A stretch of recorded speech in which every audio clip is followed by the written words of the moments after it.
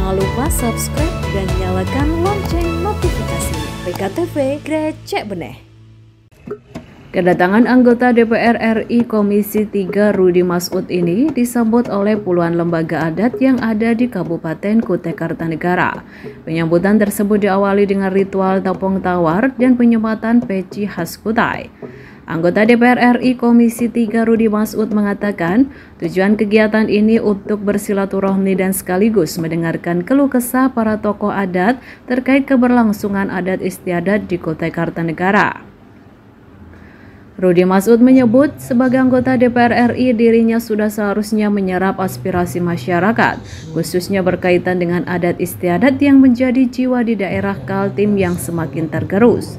Dalam kegiatan itu, para tokoh lembaga adat sangat antusias berdiskusi dan menyampaikan keluh kesah, terutama berkaitan dengan adat istiadat.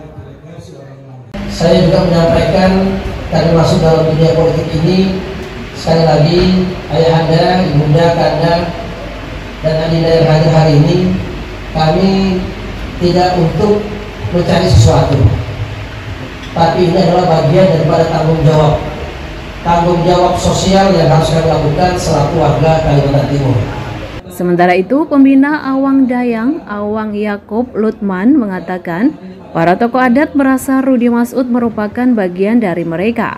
Menurut Awang Yakub Lutman, kedatangan Rudi Masud ini murni ingin mengangkat adat istiadat yang ada di Kutai Kartanegara.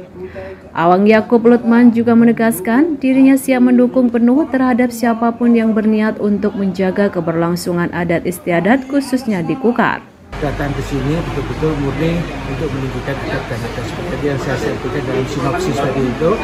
Nah sinopsis itu tidak banyak diketahui oleh banyak orang begitu tidak banyak tertulis dalam sejarah tapi itu tercatat sebenarnya dalam bahasa-bahasa lisan yang kita kumpulkan dan itu menjadi satu artinya dalam kesimpulan kesimpulan kita kita tidak boleh menyatakan bahwa ada orang yang mau jadi pemimpin itu bukan orang Kutai itu nggak benar. Tapi ternyata di daerah Kutai sendiri itu ternyata ada orang ah, dari keluarga kita dari yang dari tadi kan Sopeng dan Wajur. Selain berdiskusi dengan para tokoh lembaga adat yang ada di Kukar, kunjungan anggota DPR RI Komisi 3 Rudi Masud ini juga dirangkai dengan berziarah ke makam Kesultanan Kutai Kartanegara Ing Martadipura.